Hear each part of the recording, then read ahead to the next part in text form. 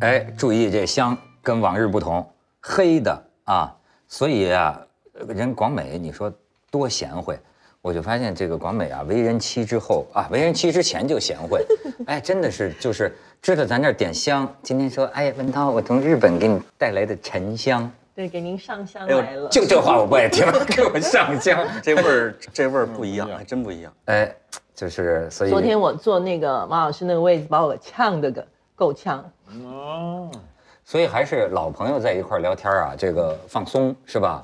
就是说，呃，今天呢，这马爷也是要特别重要，对吧？因为呢，这个咱们今天聊的呀，可以说是故人，呃，不不不是故去的人啊，就风雨故人来，就是就是就是说，咱们今天聊的都是咱们认识的人。嗯，哎，我觉得这个有意思，谁呢？呃，谁呢？王朔、冯小刚，因为呢，我就发现呢，这事儿挺有意思哈，就是说，最近好像关于冯小刚话题特别多，然后呢，你知道啊，连带着一个话题啊，好像有一种拔出萝卜带出泥。我注意到有两个这个微公号，现在有两篇文章，嗯，就是好像每次冯小刚出点什么事儿啊，一个话题啊，现在我觉得也有微公号城市往上做的这么一个趋势。其实呢，都是过去多少年的这个八卦，但是呢，哎，哗，这两篇文章传的到处都是，哎，好像似乎就是说王朔、冯小刚的关系成了一个呃什么话题，所以我就说，哎，马爷今天就在这来，马爷刚才有句话我记住了，说这人不能搁叫人不能搁着，人不不经经割，人不经割。你搁搁搁老了。呃，搁久了成成成腊了肉了。马爷就说这篇文章里哈，我为什么要找这么一段呢？我给你念念。说冯小刚进入，就是都是讲当年，说冯小刚进入王朔的朋友圈后，一直处于饭局末席的地位。主要就是因为他来自普通家庭，其他人都是大院出身。王朔和叶京是邻居，住一个大院，训练总监部大院，全称中国人民解放军训练总监部，位列八部第二。郑小龙是总后大院，全称中国人民解放军总后勤部。马未都出身于空军武器干校。这他就完全是胡扯。对 对，我就这找你澄清啊，对，找你澄清写。对嗯，还后边还说什么？虽身份不匹配，但冯小刚一直都有进步之心，是不是？你先澄清一下。他是这样啊，这个这个不知道他怎么把我写成武器武器干校呢？都是六八年、六九年以后的事儿了。对，而且武器干校是打到那儿去劳动的。对，我们是我这个从小在空军大院，空军大院是第一大院，它是按位置算的嘛。感觉比王朔他们高。王朔是末席，就他们那个学院，等我们得跨出十个院儿到不了他们那院儿，因为当时呢，呃就新中国建立的时候，部队要要要占有位置嘛，有位置呢，当时因为北京是不是在用北用旧北京城，还是有有有争议的嘛，所以一开始想在石景山建新北京，所以现在很多特老的人还说去新北京是说的石景山，那么在这个老城和石景山之间这块空白地带就给了部队了。给了部队呢，以天安门为中心，要向西推进。第一个大院就是空军大院，在公主坟嘛。第一个大院，空空军大院；第二个是海军大院，然后依次往那边排开。就是它是根据身份，当年这个毛主席特别想建空军，所以他给空军的题词都不一样。毛主席为什么想？空，因为吃了那个空军啊很多亏呀、吃亏呀、他认为空军很重要，制空权嘛。然后海军，因为咱们他没也不是那个，咱就没打过海战，就甲午海战以后就打不成海战了嘛。打打越所以啊你看他题字啊，那过去部队大院儿一进门儿一大影壁，这影壁上一定都是毛主席的字嘛。海军就是我们一定要强建立一个强大的海军，就是一个大大白话。空军那题词就牛，它是文学语言，它叫全力以赴，勿迁入侵之敌。你想想，它给搁哪儿去了？啊搁到勿歼入侵之敌对对，所以它的这个空军，过去我们空军接电话都是那个电话都是公用的嘛，电话一响，拿起来说全力以赴，对方要答不上那口号，人都不给你找人，入侵之之敌，入侵之敌对啊不对？空军是这个，所以空军大院的地位非常高。嗯，说你们俩他们这些都是，就就王朔那院真是在整个在这个长街上是默默席。他问题是，你瞧，咱找着组织了，咱找着组织了。他这所有的院都在都在这个这个长安街上，哎，长安街沿线。所以啊，我就说，为什么马爷说这人不经割啊？我给你看看照片儿，你还有照片呢咱咱咱咱看看照片儿啊。呃这都是后来的那个时候就是以前的王朔和呃冯小刚啊，然后这个，嗯，嘿，这个我觉得 这个冯小刚这这些有点像剧照不。不，真能演戏，真能演这个角儿。然后你再看，哎，这是当年的，这这都广美都认识吗？赵宝刚、王朔、冯小刚、葛优啊，葛大爷，对，葛大爷，你再看，这是谁呀？这是谁啊？呃看像我吗？不像了吧？他多不性格这是王朔和马未都，你说这人金哥吗？哎，马老师刚才，马老师，我觉得你现在帅。哎，我那时候年轻嘛。马老师，你就年轻都这样我还真是慧眼识珠。刚才我们那个编导就找照片，就是说问了半天在群里，说这是马未都吗？这这不是吧？我一眼我说就这眉眼跑不了，肯定是。王朔是一娃娃脸，哎他那大圆脸儿，娃娃脸。他当年是王朔的小说，是你是文学编辑，对，我是编辑。王朔的第一个小说集，就是他出书，那出书是天大的事儿啊！我是责任编辑，我都忘了。那天我翻书，一看上面写着这是作者的第一部小说集，叫《空中小姐》。然后一翻看版权页，一看责任编辑马未都，我说：“好呀，第一本书是我出的，就是我给他编辑。”处女作处女小说集。对，小说集你知道，过去搞文学的人，能把自己的字变成签字成书呢，是一个人生最重要的一站。哎，你再怎么成名，你出不了书，等于没有。对，而且这个书出完之后出个文集，那对级别又高了两级。对对，一个那个很高的。就是当然咱们也不是要讲他们这个个人恩怨了，那不是我们的目的，但那是我们的追求，什么？这个我我是说，哎，采夫，你对最近冯小刚怎么这么多人聊他？他每次都会有很多人聊，因为他先聊自己嘛，就是他自己起头聊自己，然后其他人就是很多的资料实际上是从马老师和冯小刚自己的书里边出来的，就是我把青春献给你那种，就是咱看的这这一波的呀，其实没多少新材料，就是就整吧整吧，又是一波就起来了，因为他每一次他是有新闻敏感的，冯小刚就是每一次出这种事儿的时候，他先掀一个潮头，哎，大家就跟上炒一把他，然后就基本上，因为他微博的那粉丝量比较大，他容易挑这个，一会儿骂记者，或者一会儿去报社去找事儿去了，或者那种的，或者一会儿骂这个，或者骂那个的时候，大家就蹭热点嘛，现在就叫蹭热点，就蹭一下他的。我咋觉得是因为他连着两年拿了金马奖，先拿一个演员的奖，然后再拿一最佳导演奖。我觉得我不晓得，我感觉这个就是一个，真是一个水军的文章。不是我他，他不管水军不水军，他有影响，主要是源于这次的那个潘金莲的这个上映嘛。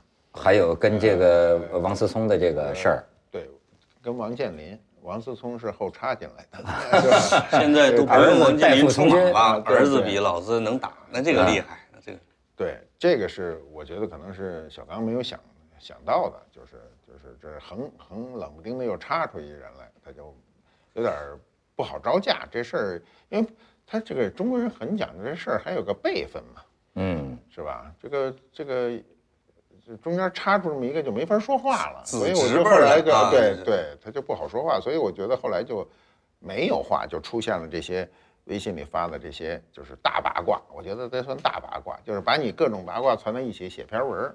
现在人呢，有的人不知呢，就看一看看这故事，呃，里头就是现在都是三分真七分假，现在所有的事儿都这样。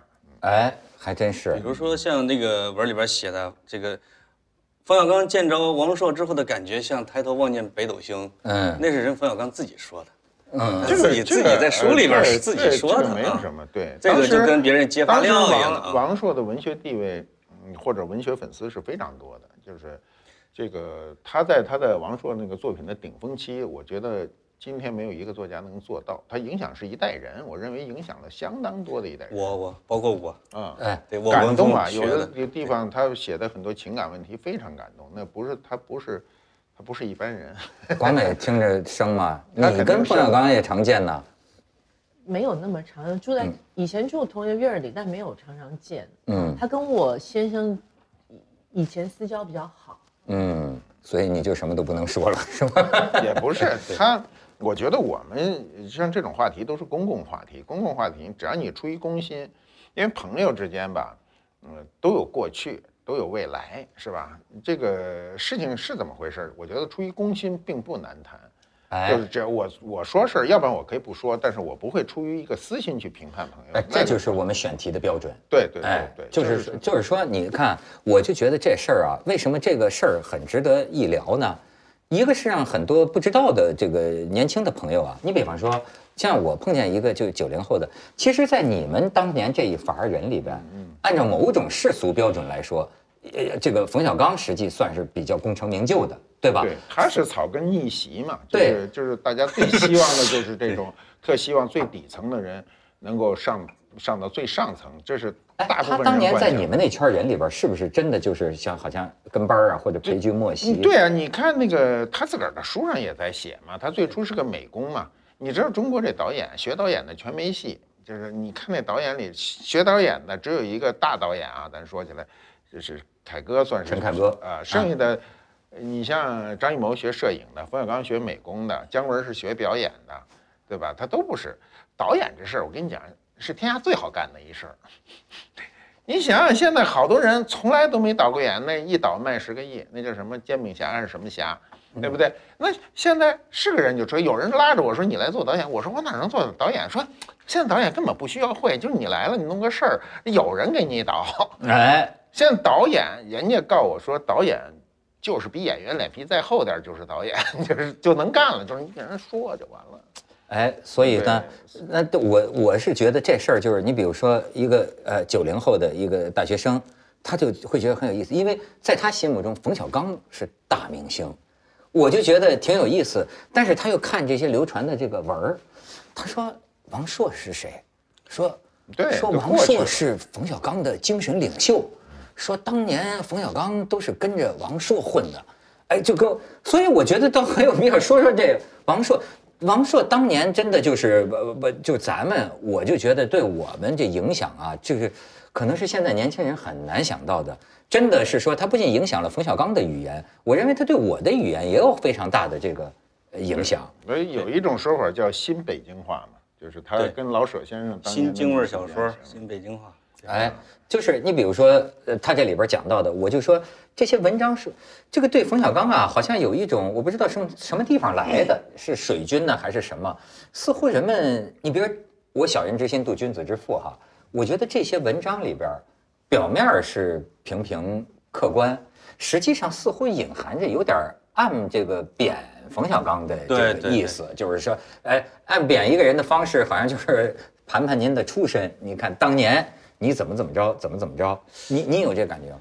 就是在座的这四个人里边啊，只有我跟冯小刚没任何关系。你肯定这都是发小我也没一个院儿的这个肯定有过交流或者说接触。是是我认识我完全没有啊啊，所以我可以没有心理负担的去夸他，当然？就靠你了。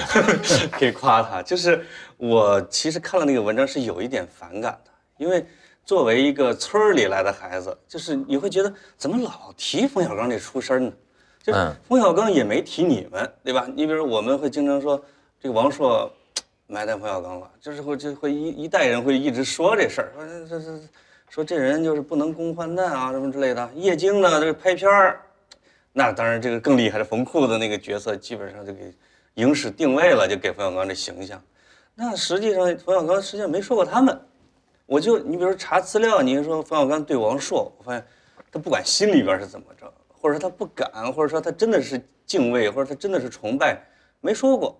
然后到拍《非诚勿扰》的时候呢，就是又继续再合作，就是有可能一个底层出身的或者胡同出身的人呢，他在事业上升的过程中，他会有各种各样的姿态，啊，他他也不是说心胸大，但是他会，他不会说我坚持一个什么东西，我跟你永远世仇，就是现在成了别人一直埋汰他，他呢，我就就蔫了吧唧的，就是你他找我呢，你你让叶京再拍电影找我来站台，我还站，就这种，甚至有一种委曲求全在这里边放着，甚至觉得有一点小可怜在里边放着，这个就其实昭示了，就我觉得草根出身的人呐，出功成名就有多难这个事儿。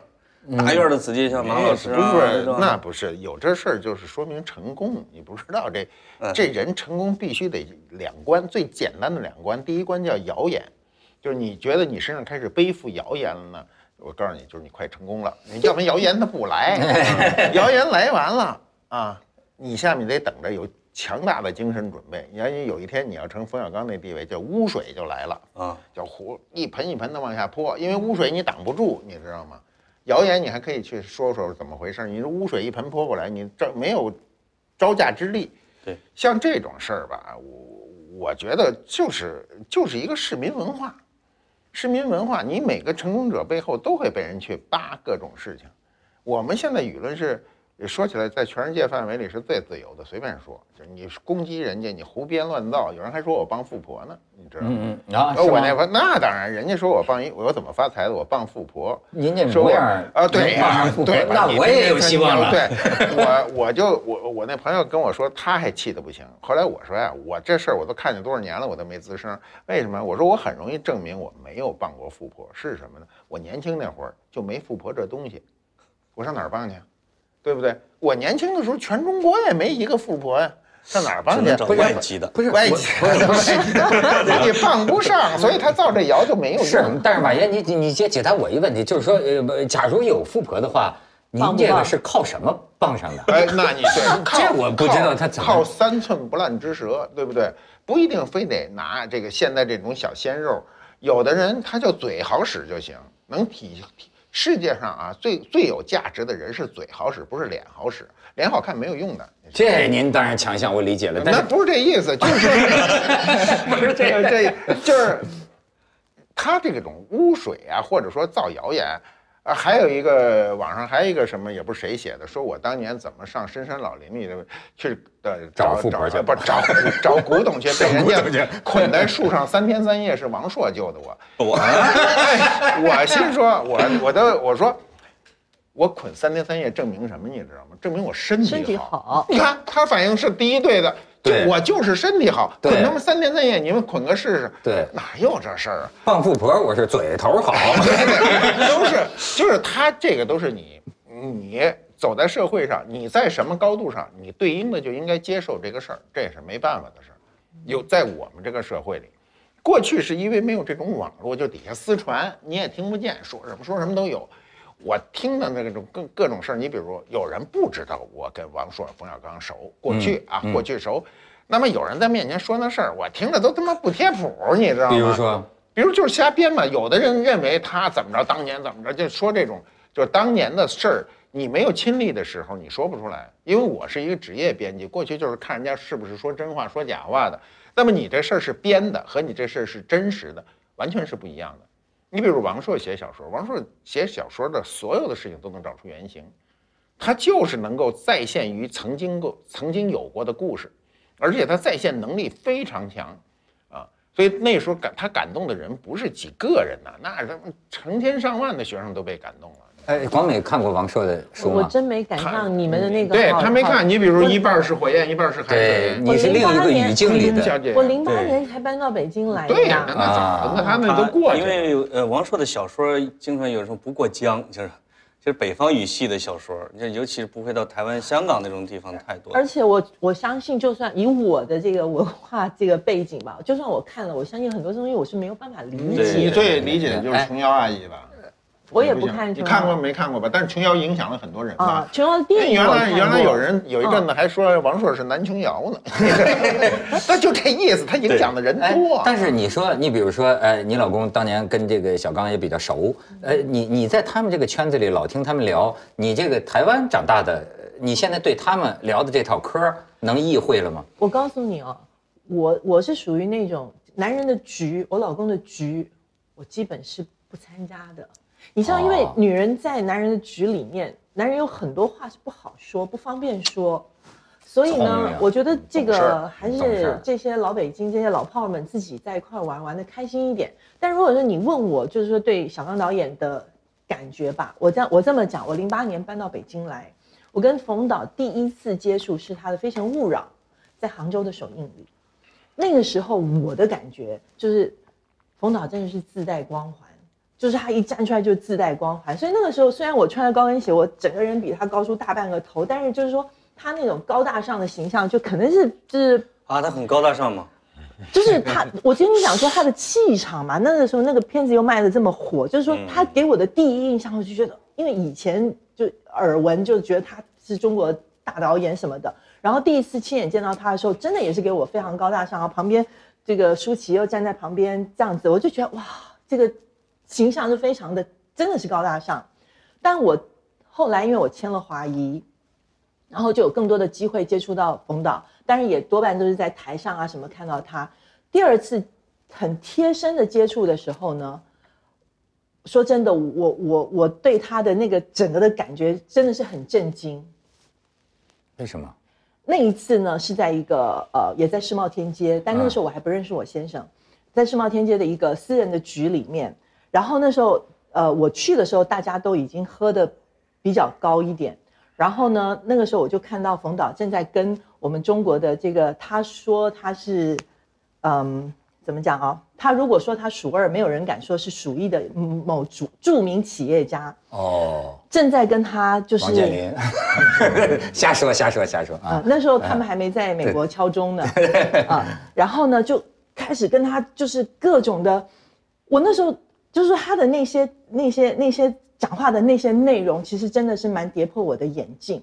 我心里就在想，这么一大腕儿的导演，因为他肯定是投资人，我就会觉得说，一个导演面对一个投资人的时候，他身段可以这么的低，而且就是他的那种微小，把自己放到那么那么的微小，跟我第一次见他那种高大上的那种感觉，就是形成这么大的反差。所以那时候我心里就觉得，人成功真的不是没有道理的，这哎这哎，这真实的冯小刚，哎是吧？这这这能屈能他，伸。你像他跟这个，就说他跟王朔的这个不同，但就是他能低声下气。你你知道，就是说，哎，他到最后就有有，我对他没有什么褒贬可言，就是我就说我亲身感、感受到，有一次，比如说他抽烟，就戒了烟了，后来又抽又抽起来了。后来我记得有一次，他就说，他说我想想，我活在这个世界上，不管哪哪儿，唯一一件事儿不需要跟别人商量，自个儿就能决定的，就是这个。抽烟了，所以我想我干嘛要戒呢？这等于为什么他爱哭呢？是不是因为好多这个辛酸史啊？这我哎，你要说他爱哭，我还真就没见过他哭，我从来没见过。是吗？对对对，我没见过，所以我不能随便去说。就是呃其实这是一个性格使然。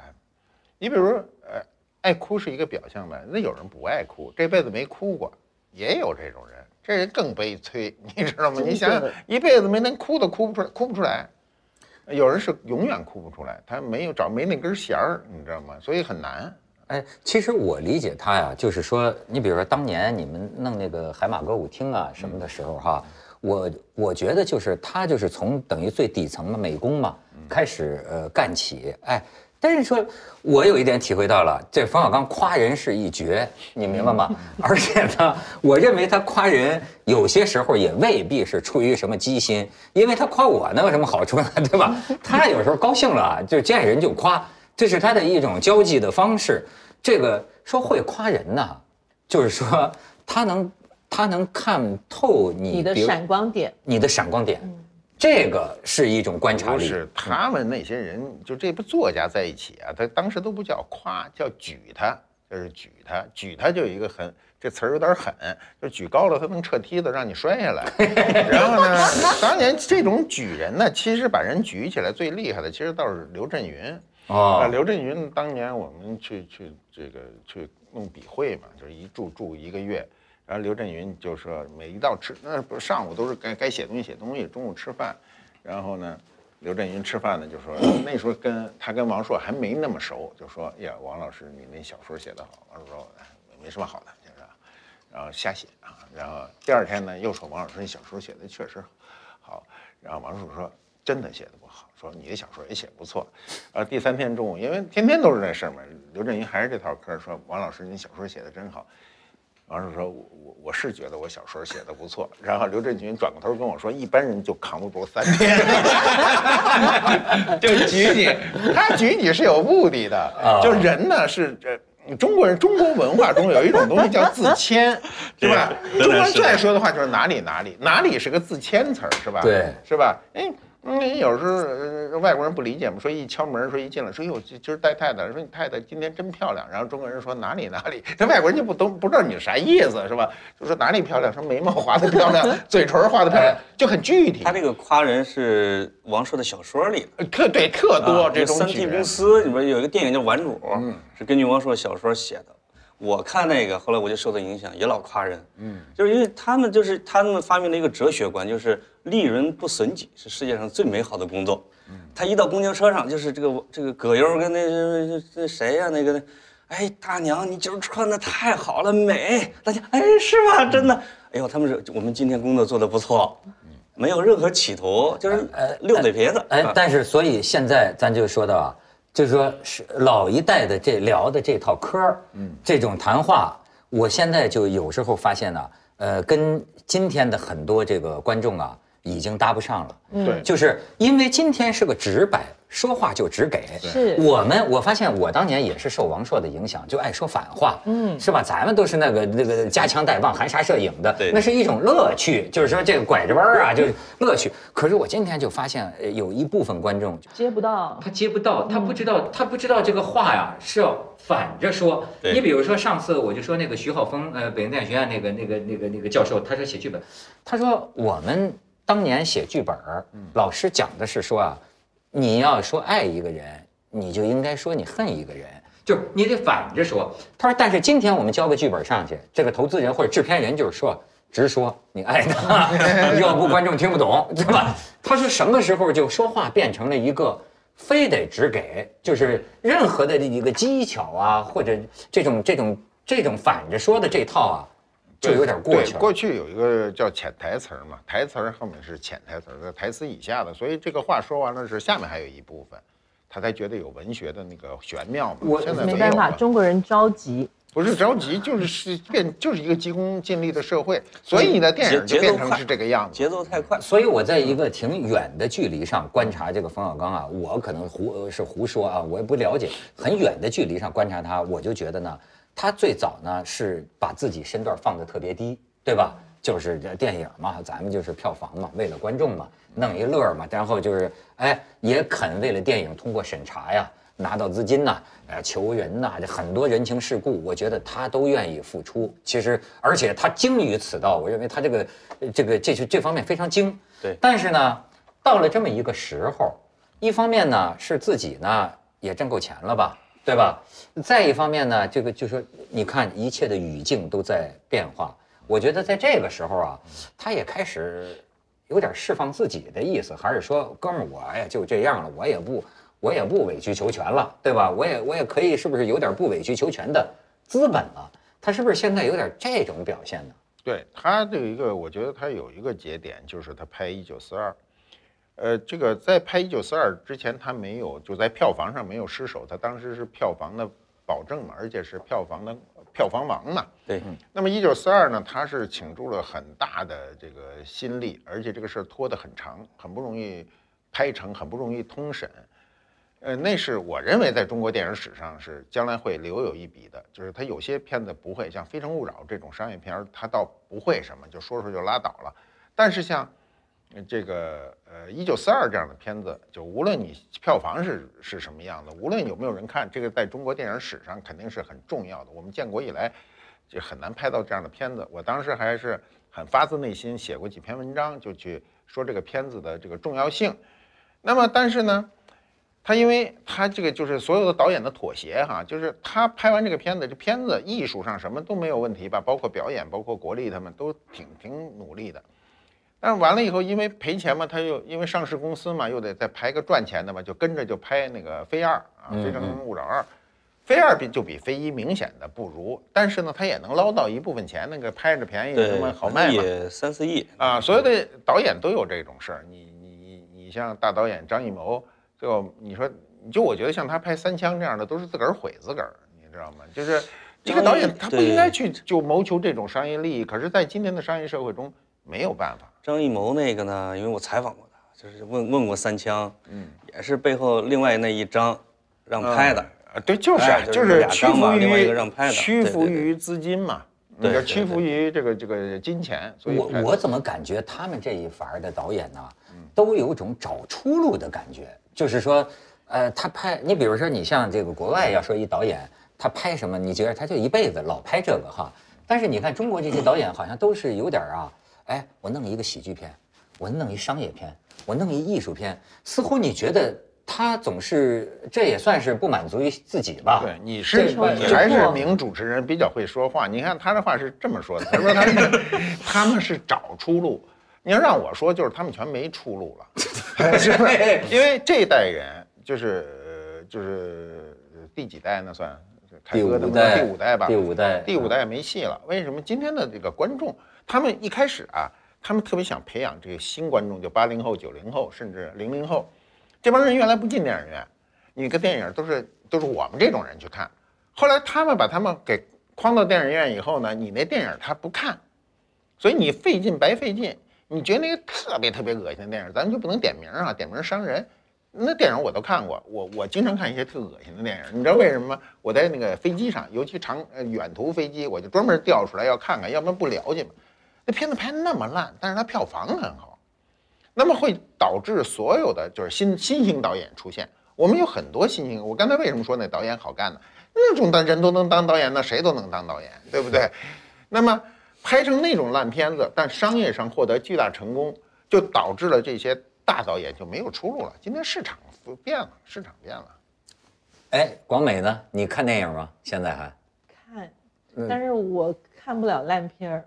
你看不了吧？那我告诉你，就飞机上能对看飞机上没地儿去 对对最对好的地儿，对但是。我觉得找出路，我觉得我还是赞成找，不不见得没出路。我觉得当导演他是不可能，他他他找出路也可以，我我告诉你，他们肯定没出路了，就是他的说法，就没有戏了。那你看李安的片风也是变来变去啊。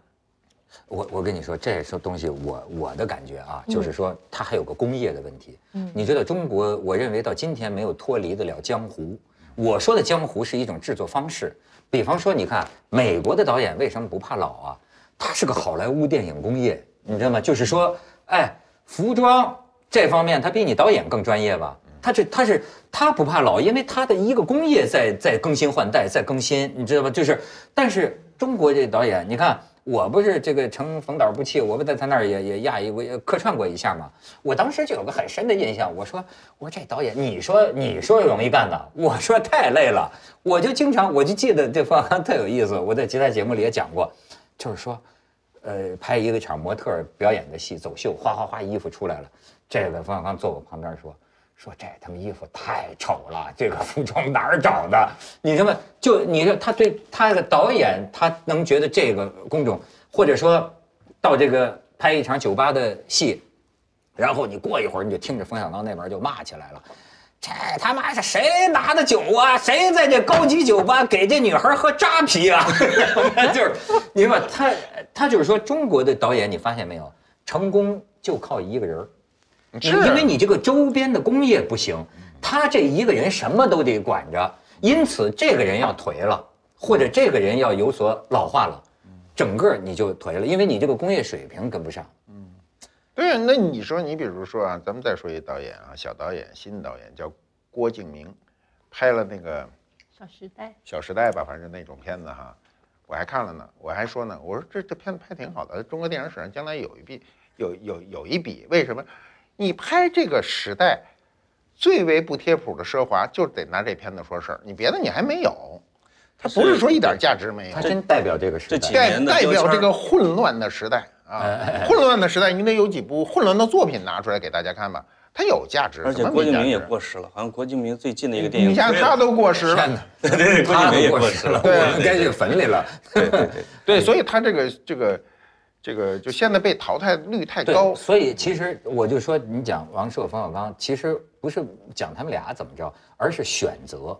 我就记得当年王朔上《锵锵三人行》有件事给我印象就很深，他就是我们那个时候这个请人的那个编导叫毕峰嘛，嗯，叫毕峰，然后我说哎找这这去找王朔，哎他倒愿意来，但是呢，哎他就跟毕峰说，是窦文涛请我吗？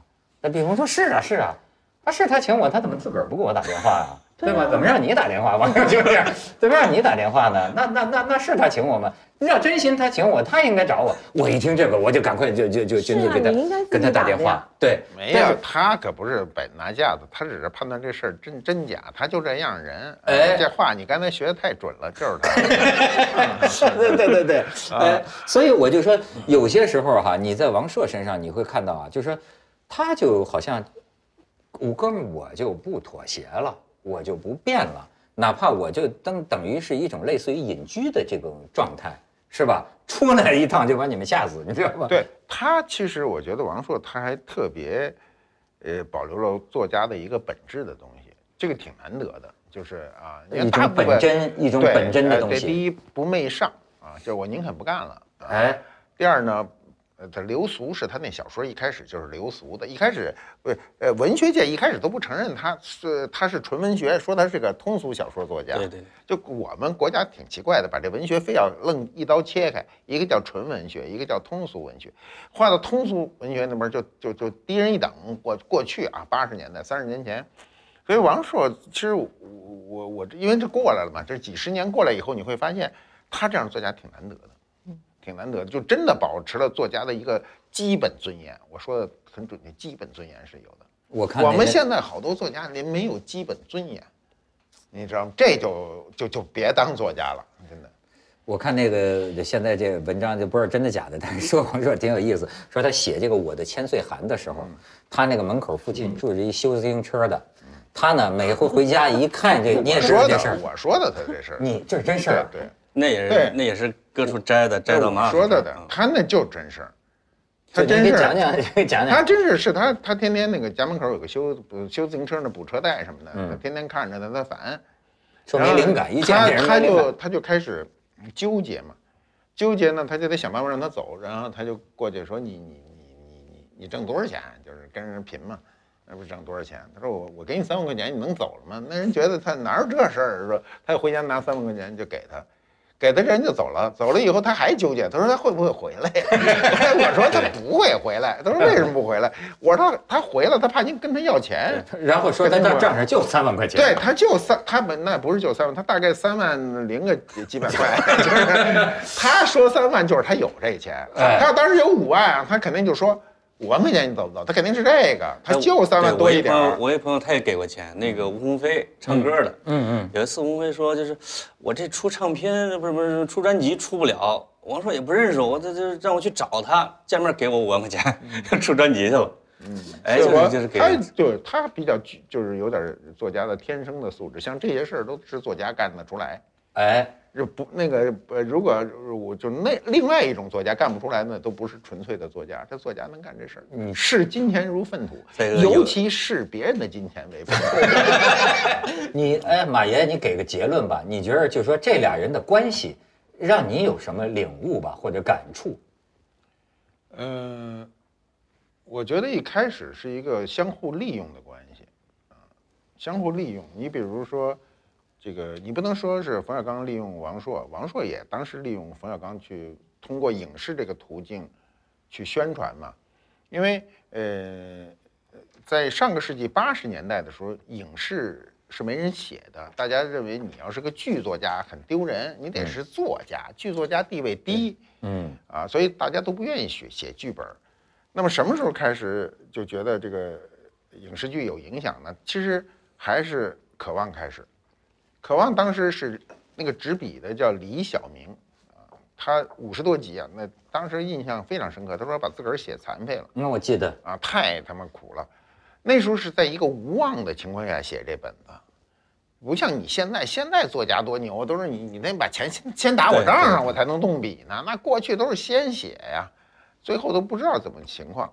那么在这个情况下呢，就是呃，我记得很清楚啊，就是《渴望》播出以后，那个王朔还是挺敏感的，他就说，就因为他是个通俗的东西嘛，渴望是个通俗的东西嘛，他写小说也是比较通俗的，就说就说这电视剧将来的影响力会非常的大，那时候再加上港台很多电视剧也引进嘛，啊，所以当呃这个冯小刚找他去拍这个电影的时候，因为那时候我已经。跟他们就比较远了，因为我我对我跟文学就好过十年，十年以后，海马歌舞厅你不是其中的人对，海马歌舞厅是我最后在这个做这个事儿的最后一站，弄完那事儿我就彻底的离开这个文学和影视了，彻底离开了，我就我不太喜欢那种纷杂的生活。那么他们俩之间一开始就是相互利用啊，利用我这个利用是中性词汇，不是一个一个贬义词，不是就是要利用。那咱俩也相互利用啊，我让你帮我去主持一个。二十周年庆典，那我肯定利用你啊！我利用您多一些啊！对对对对，这相互利用，相互利用说明你互相有价值嘛。嗯，这个没有什么不好的，不是说俩人全是没有利用关系，俩人全是哥们儿，这都是瞎胡扯啊。但是就说你们那个时候大呃大院子弟这么一直混下来的，呃，有没有这种掰了的？太多了，都你没有商业利益，你就不会掰。你知道，你有商业利益，只要有稍微有一点过不去的就掰了。就是仅仅是商业利益，全部理念呢，做人呢，没那事儿，所有人都为钱，理念没什么 啊，理念没什么。过去还有一种掰，就是你你把女朋友搞了就掰了啊。现在这种事儿搞了就搞了，说我这证他不不知道怎么脱手呢，让你给搞了，是吧？这他倒不会了，现就是商业。你看掰了的一定是跟钱有关。那咱咱们都公开的啊，咱们只能说公开的，不能说不公开的。你比如二张，他刚才说张艺谋和张什么张伟平吧？对，张张平伟、张伟平、张伟平啊，那掰了，那肯定是跟商业有关，那也不都不用问他。对，没有理想，那你几年没给他钱嘛？嗯，对对对，等自己收。那你现在作为过来人，你到现在你觉得呃存在不存在一种呃年少哥们儿老来伴儿的现象？会会，就是当所有的商业的东西全都没了。这这个历尽劫波兄弟在嘛，相逢一笑泯恩仇。鲁迅写的好，好，好，好，行，马爷给归结的好，嗯谢谢，谢谢，到点儿啊。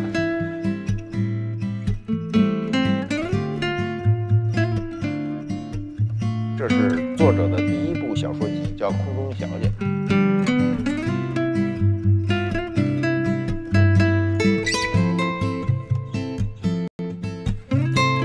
王朔和叶京是邻居，住一个大院儿。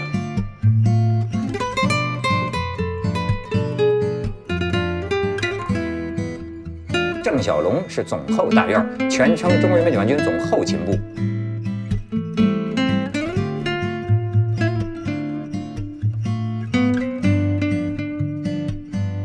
马未都出身于空军武器干校，这还就完全是胡扯。们是我这个从小在空军大院，空军大院是第一大院。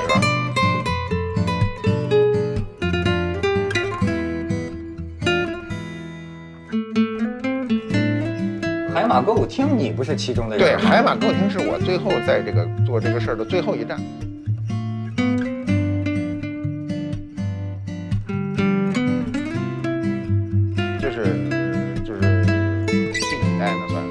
第五代吧，第五代，第五代没戏了。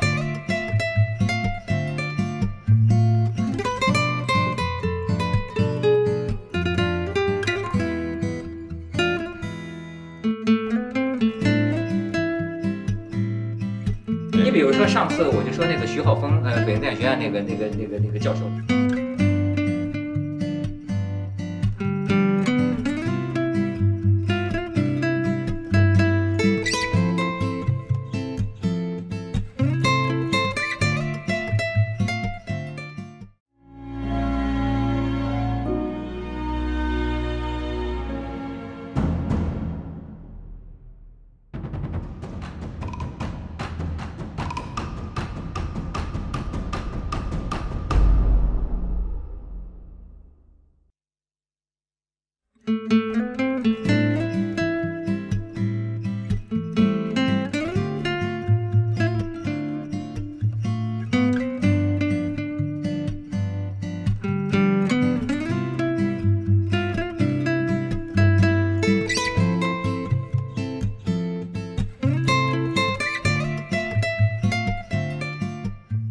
这世界很酷。